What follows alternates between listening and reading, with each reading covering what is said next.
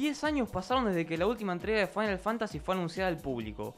Una década en donde cambió de plataforma y de nombre, al igual que de personajes, mecánicas y conceptos. Ahora que lo tenemos entre nosotros, podemos afirmar que la espera valió la pena y que esta decimaquinta entrega de la famosa saga japonesa es un título que no hay que dejar pasar de largo. Esta nueva edición a la franquicia cambia completamente su enfoque principal, al igual que el sistema de combate que estamos acostumbrados a ver en Final Fantasy. Las peleas por turnos quedaron atrás para darle lugar a enfrentamientos más rápidos y dinámicos, pasando a ser un juego que muestra mucha más acción que juego de rol.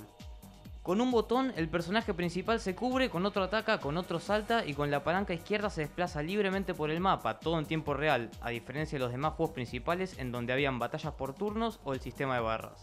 También hay una opción que permite frenar el avance del tiempo para planear los movimientos de forma detenida. Las peleas, sumadas a otras mecánicas divertidas que tiene, son muy entretenidas y se sienten bien. Hay una gran cantidad de armas disponibles y se manejan todas de maneras diferentes, logrando evitar que los enfrentamientos se vuelvan densos o repetitivos. Siguiendo con la línea de cambios, el título se suma a la moda de los mundos abiertos, ya que en la primera hora de juego el jugador es libre de recorrer un extenso, completo e interesante mapa con la posibilidad de avanzar en la historia principal o hacer misiones secundarias. El mismo puede recorrerse lentamente a pie o de forma rápida en auto. Las aves icónicas de Final Fantasy, los chocobos, también ayudan a los personajes a movilizarse libremente.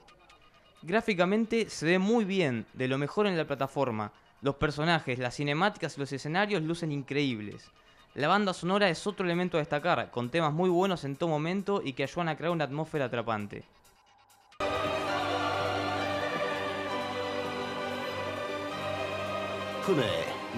Hay pocas cosas que le juegan en contra a esta nueva aventura, pero son muy pesadas.